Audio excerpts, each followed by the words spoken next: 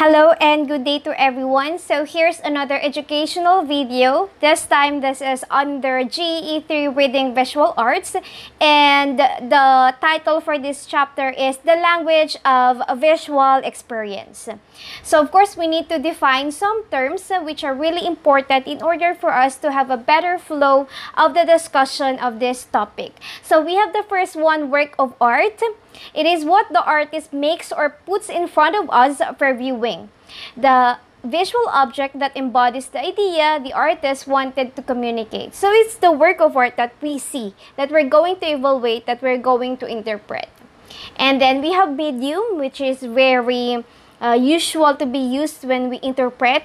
It's a particular material along with its accompanying technique, a specific type of artistic technique or means of expression determined by the use of particular material. So the hint here is the material used for the work of art.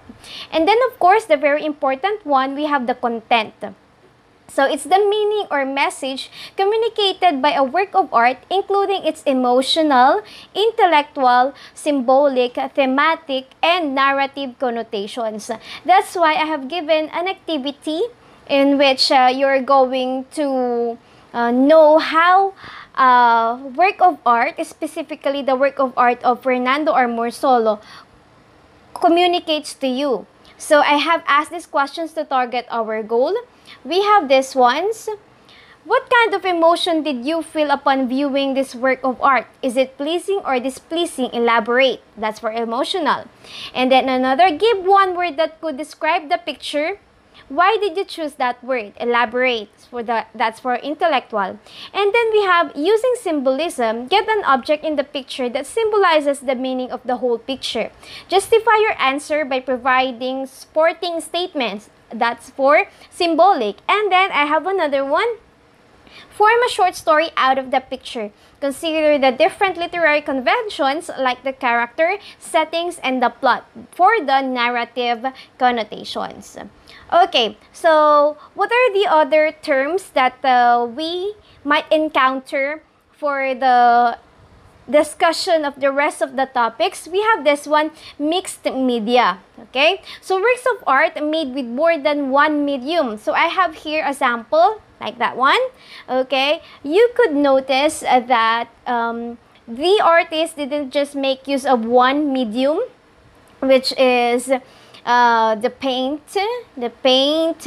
Uh, here she has also used uh, this uh, paper and then the other. So it, it's mixed media. Now we have another term, photomontage, the process of combining parts of various photographs in one photograph. So this one is famous nowadays. Okay, you, you look at that one. Okay. Look at it closely. If you're going to observe it and keenly notice what it's made up of, okay, so that picture is made up of a lot of pictures, okay? So it formed a very nice picture out of the many pictures of the subject. Okay, so that's photomontage. So in order for us to briefly say our visual experience in viewing a work of art, we must consider the following questions I have mentioned and the important terms that I discussed. And that's it for this video. Thank you for watching.